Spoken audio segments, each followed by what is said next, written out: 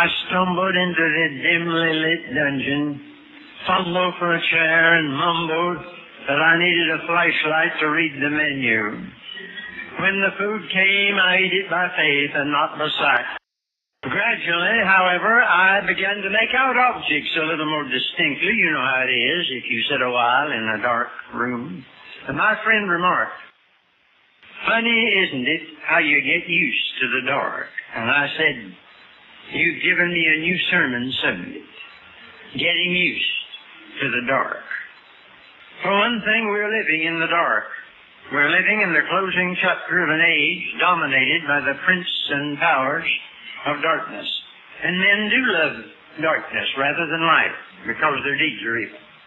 The night is far spent.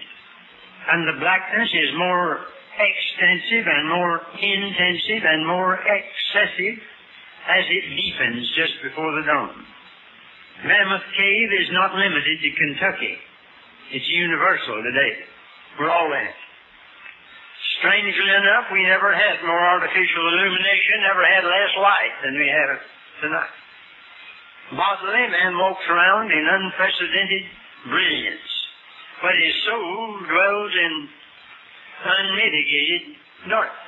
He can release nuclear glory that outdazzles the sun, but he has gotten so far with his head that his heart has been outdistanced. And with his head, he plans his own destruction. He can put satellites in the sky, but left to himself is a wandering star for whom is reserved the blackness of darkness forever. The depths of present day human depravity are too vile for any word in our language to describe. We're not seeing ordinary moral corruption these days. These terrible things you're reading about in the paper, this is not ordinary meanness. We've always had that. We are seeing a double distilled and compounded demonism in weird and uncanny combinations and concoctions of iniquity that were never heard of a generation ago. And this putrefaction of the carcass of civilization waiting for the vultures of judgment is not peculiar to Skid Row. Shows up in the top brackets of society. There are plenty of prodigals today living morally among the swine, although garbed in purple and fine linen. Bishop Kilgo of the Methodist Church used to say there's no difference in reality between the idle rich and the idle poor. The crowds who loaf in gorgeous hotels and the crowds who tramp the land in rags, no difference except in the cost of their wardrobes and the price of their meals. The scriptures speak of gross darkness. Well, the English language is a little tricky sometimes. Gross can mean 12 dozen. It can mean intense, concentrated darkness. Man lives in concentrated night, and even his nuclear flashlight can't pierce it. In the second place, not only do we live in the dark, but we get used to it. Christians get used to it. I want to warn you tonight the best way I know how of a slow and subtle and sinister brainwashing process that is gradually desensitizing all of us to evil. You're not aware of it. That's the trouble. Little by little, sin is made to appear less sinful until the light within us becomes darkness, and how great is that darkness? Our magazines are loaded with sordid crime. The news stands with corruption and we're engulfed in a tidal wave of pornographic filth. Television has put us in the dark more ways than one, with Sodom and Gomorrah in the living room. We get used to it. We get acclimated to it. We accept it as a matter of course, its language and its art and its literature and its music. And we learn to live in it without an inner protest anymore. We don't hate evil. We don't abhor that which is evil. We don't abstain from the very appearance of evil. We get used to the dark. You remember Lot. He was a righteous man and never would have known it if it hadn't been for the New Testament. But he moved into Sodom, lived in it, became city councilman. I know that his righteous soul was vexed from day to day with their unlawful deeds. But he lost his influence with his family, had to flee for his life, died in disgrace. I've met a lot of lots in the last few years, and as it was in the days of Lot, so shall it be, and so it is. And they tell us now, even in some evangelical circles, that we ought to hop and off with Sodom and get chummy with Gomorrah in order to convert them. And the argument is that old one that the end justifies the means, forgetting that the means determines the end. If you use an unworthy means, you've already spoiled the objective before you get to it. And these dear people are not turning the light on in Sodom, they're just getting used to the dark. Now, the worst of all this is that we get to where we think it's getting brighter, just as if you sit in a dark room long enough, you think it's brighter. Men may dwell so long in darkness that they think the day is dawning. I believe that what some people call the birth pangs of a new age are just the dying gasps of this. Science has performed many wonders. We've split the atom, gone to the moon, but the is not getting brighter. We're just getting used to the dark. We call it broad-mindedness, tolerance, peaceful coexistence. It really is with evil. And in an effort to establish communion between light and darkness, reaches out in all directions, even in evangelical Christianity. It's possible to fraternize with unbelievers until false doctrine becomes less and less objectionable. Until we come to terms with it and incorporate it eventually into the fellowship of truth. Some begin by opening the doors to borderline sects and cults who believe almost like we do. And then others want to make a crazy quilt out of all the religions. They call it a syncretism. Theological chefs today are mixing all kinds of mulligan stews. They fancy that the darkness is lifting and is getting used to it. Now, the same danger exists in the world of doctrine and conduct. You can live in a twilight zone in your conduct and in conditions of low visibility until you find the practices of this world less repulsive than you did. You think it's your mind broadening when it's just your conscience stretching. You renounce what you call Phariseeism and the Puritanism of your early days. You have a good word for dancing and smoking and cocktails and all the rest of it. And instead of passing up Vanity Fair, you spend your vacation there, maybe. You prefer the borderline to Beulah land. When young people have question and answer periods, so many times they usually ask about the same questions, and uh, it generally boils down to this with a lot of them. How much like the world can I be and still be a Christian?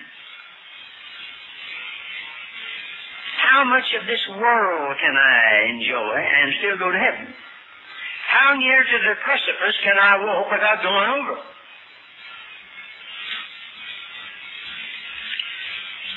Instead of asking how much like the Lord can I be and how little like the world, it amounts to this, although they and, and old people are the same way. They'd never put it that way. The point really is how much of the world can I incorporate into my program and still get to heaven? You remember Bunyan's immortal prose when he told us about the Christians at Vanity Fair. I love this old way of saying it. And as they wondered at their apparel, so they did likewise at their speech. For few could understand what they said. They naturally spoke the language of Canaan, but they that kept the fair men of this world, so that from one end of the fair to the other, they seemed barbarians to each other. Now, we don't seem like barbarians in this world today. We're too much like it. The operators of Vanity Fair today wouldn't see much difference in uh, clothes, conversation, or conduct. The average church member today. Now, this sort of business doesn't come on us all of a sudden. You remember those immortal lines of Pope? Vice is a monster of such frightful mien as to be hated needs but to be seen, yet seen too oft, familiar with her face. We first endure, then pity, then embrace. If the proprietors of the modern Vanity Fair could watch the average church member If those old fellows back in Bunyan's day would behold the modern professing Christian, especially in the summertime, wearing in public a garb which you should never have come down the stairs at home. They wouldn't look like barbarians. Now here's how it works. The other day a secular journal, this is not a religious magazine, said, the desensitization of 20th century man is more than a danger to the common safety. There are some things we have no right ever to get used to. One is brutality and the other is the irrational. Both have now come together and are moving toward a dominant pattern. Now there was a time when sin shocked us. It'd have to be pretty bad to shock most people, most Christians today. As the brainwashing progresses, what once amazed us only amuses us. We laugh at the shady joke, and unfortunately, tragedy has become comedy in America. We're laughing at things today we ought to cry about. It's the strategy of tolerance and acceptance and this permissiveness that you've been hearing about here this week. Dr. Jowett, that prince of preachers, said to preachers, we are tempted to leave our noontide lights behind in our study to move among men with a dark lantern which we can manipulate to suit our company. We pay the tribute of smiles to the low business standard. We pay the tribute of laughter to the fashionable jest. We pay the tribute of easy tolerance to ambiguous pleasures. We seek to be all things to all men, to please all. We run with the hare and hunt with the hounds. We become victims of illicit compromise. There's nothing distinctive about our character.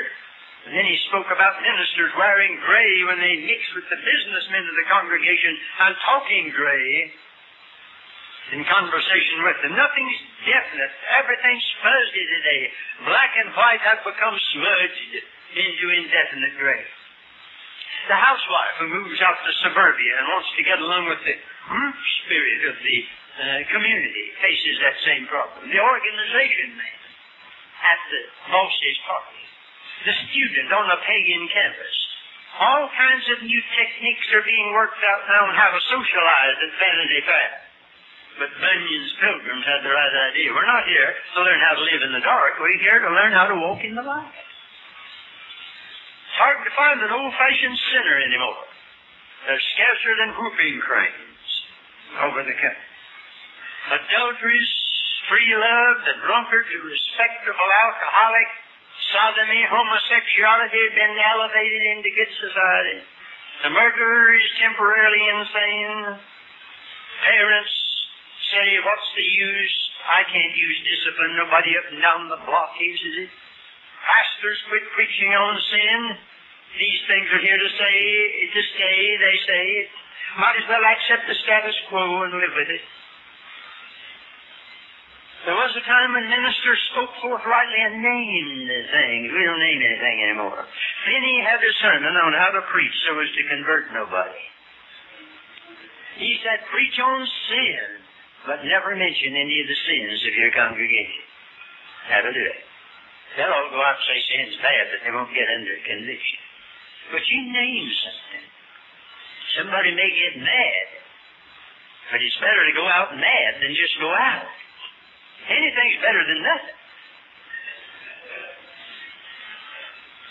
The woman at Jacob's well did not get under conviction as long as my Lord talked about the water of life and where was the best place to worship, and those are good topics. She got under conviction when he said, Go call thy husband. Oh, she'd had too many of them already. And she went back and said, Come see a man who told me about what? The water of life? No. Best place to worship? No all things that ever I need. It is not this Christ. We need some more of the preaching today that names something, that particularizes instead of generalizing. Not popular. I found that out a long time ago. But it's Scripture. And we see this communion between light and darkness in all directions, TV programs of 30 minutes of foolishness, and then they sing a hymn to give God a tip at the finish. He's got the whole world in his hands, sung the jazz tempo. Teenagers dancing to God Bless America and a mighty fortress is our God, followed by a beer commercial. Hollywood portraying the Bible, and Hollywood is no more qualified to handle Scripture than a gangster to lecture on honesty. Now let me warn you, as I warned myself, beloved, there is a slow and subtle brainwashing by which we are gradually merged into this age, homogenized into this faceless mess, world church, world state, ready for Antichrist. I don't know what's coming. When Mr. Churchill was over here in 49, oh, up at, uh, over at MIT, uh, somebody spoke on fault control and said the day may come when there will be fault control. Mr. Churchill said he hoped that he wouldn't live to see a day like that. I don't know about that, but I do know that we're being smudged into gray. When the Lord's sheep are a dirty gray, all black sheep are more comfortable. Will you remember that? If you're one of these gray Christians, all the black sheep take comfort in your condition. You've become a thermometer registering the prevailing temperature instead of a thermostat to change the temperature. And when the salt loses its savor, we become neither nor in a world that's either or. Experts at the art of almost saying something. You can go a long way in the ministry today if you learn that. A lot of folks don't know the difference anyhow. Come right up to it and then execute a neat detour and you get right up to it. There's an awful lot of preaching that way today. Parroting mild and innocuous platitudes so that we become uh, not only blind leaders of the blind, but bland leaders of the bland. Now the world's in the dark tonight. You know why it's in the dark? Well, I wish everybody knew the next verse in John 3 after John 3.16. For God sent not his Son into the world to condemn the world, but that the world through him might be saved. He that believeth on him is not condemned, but he that believeth not is condemned already, because he hath not believed in the name of the only begotten Son of God. Now, 19. And this is the condemnation. This is the test by which men are judged. The word really in the original is crisis, with a K spelled with a K. That's the only difference. This is the crisis. You talk about the crisis. Tonight is not Vietnam. It's not the next election. Here's the crisis, and always has been. That light is come into the world, and men love the darkness rather than light because their deeds are evil. For everyone that doeth evil hateth the light. Neither cometh to the light, lest his deeds should be reproved, but he that doeth truth cometh to the light. And his deeds may be made manifest that they are wrought from God. The crisis is that Jesus Christ came to this world and precipitated a crisis because everybody has to take sides about Jesus Christ. There isn't any such thing as doing nothing about Jesus Christ. He that is not with me is against me. He that gathereth not with me scattereth abroad. And this light shines in the Savior. I'm the light of the world. It shines in the Scriptures. Thy word is a lamp to my feet, a light to my path, and it shines in the saints. Ye are the light of the world in the Savior, in the Scriptures, in the saints. But verse 20 tells you why some people don't go to church. Everyone that does evil hates the light. I had a country church way back in the late 20s. And I remember a little woman whose husband brought her every night to the Sunday night to the services. He was an old sinner. He never came in. He sat out there in the dark more ways than one in the car, and she'd sit over here to the right. And I thought about this verse many a time. The trouble with that old boy was, and this verse describes him, everyone that does evil hates the light. He knew if he came in there, the light would be turned on. And he'd squirm and twist and look perfectly miserable. But his wife wanted all the light she could get. It's a pretty good way to test your Christianity tonight. Do you honestly want all the light you can get? Or do you want this thing shaded down and arranged to suit your whims and prejudices? Did you ever walk across a field and turn over a large stone, and the moment the sunlight struck underneath, all the creeping and crawling things began hurrying and scurrying for cover? That's what happens to your heart when the light of the world, the, Jesus, is turned on. It makes you uncomfortable. You don't know what's down in the dark cellar till the light's turned on. You don't know where all the lizards and the snakes and the toads and all the rest of it are until the light is turned on. And you don't know the state of your heart. Until the lights turned up. No wonder some people live in the world all week and sit up Saturday night at the late, late, late, late show and come bug-eyed to church on Sunday morning and wince. They've got photophobia, fear of the light. Our business as Christians is to let the light shine have no fellowship with the unfruitful works of darkness, but rather expose them, turn the light on them. Not all, not merely in pulpit denunciation, although that has a place. But by the contrast of godly living, I know the old proverb, better to light a candle than to curse the darkness. I know you can't shovel darkness out. The only way you can get it out of a room is turn on the light. But there's some things that keep your light from shining, and Jesus used such simple illustrations. He said one was a bushel and the other a bed. Is your light tonight under a bushel the cares of this world, the deceitfulness of riches, the cares of this life?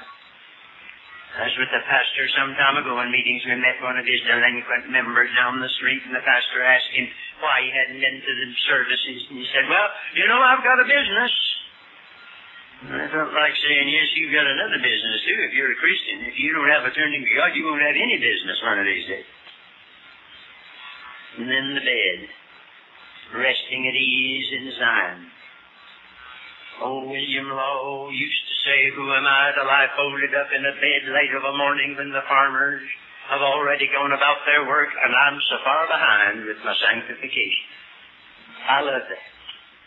That has refreshed me again and again. I don't know how you feel about it tonight, but I'm frank to admit I'm way behind with my sanctification. Stephen Olford and I been in a number of evangelistic conferences in the South. That men, by the power of God, gets people under conviction. And at one time, I won't forget a flock of preachers out there that were flattened by his preaching. Terrific preaching. And the preacher told me, he said, I'm eliminating certain TV programs and getting up earlier to meet the Lord. I could take it easy. I'm at the age where I'm supposed to be on Social Security in a rocking chair reminiscing about the good old days that weren't so good. I can't take it easy. And any preacher and any Christian who can take it easy today is not worth a salt in their bread. I can't understand a preacher in good health who quits preaching. Because I've got something to say out of the book, and so has any preacher. And uh, I don't intend to water it down. There's no time to beat around the bush. I don't have long to go. When your money's running out, you better spend the rest of it carefully. When time's running out, same way, but you may go before I go. Buy up the time the days are. I started out in western North Carolina as a little boy. Preach. Twelve years old. Got up in the church when I was 11, asked him to license me to preach the gospel. Those dear old farmers. I know you're not to lay hands suddenly on anybody, but they did it. Said, believe the Lord's got his hand on it. Started it. First sermon ever preached was over at a place called Hickory. There's a lady supposed to be here tonight Hickory, North Carolina. I'm the Hick from Hickory. That's long time. They asked me to come over there and talk on a Wednesday night. They had their 100th anniversary not long ago, they had me back to preach. My father, we were just country folks. Oh, we were poor folks. We got a farmer to take us in an old Ford over to Hickory, and I will forget it. I got over to Hickory. I've been in bigger places since. Never been one looked any bigger. I looked like a mile down to the pulpit, and I went down there, and they told me to stand in a chair, and the pastor of the church stood on one side, and the state evangelist stood on the other. And I did the best I could. And I've been trying to do that ever since for 57 years. And that's all God ever asked anybody to do, just be faithful. And you can't get around that, friend. It is required just that you be faithful. My old daddy used to go with me when I was a little boy, and then when I was able to go by myself, he'd meet me in the town over there in that old Ford. And I can see him getting that old blue serge suit. Hadn't been pressed since the day both. And I'd go up to him after I'd get off the train. He'd always ask me, how did you get along? Long time. One of these days I intend to roll into glory.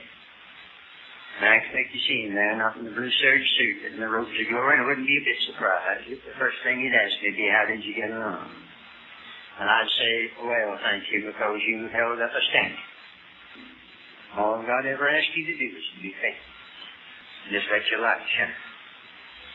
We're untouched by the need of our own hearts in this world. Spend more money for dog food and chewing gum than for world missions.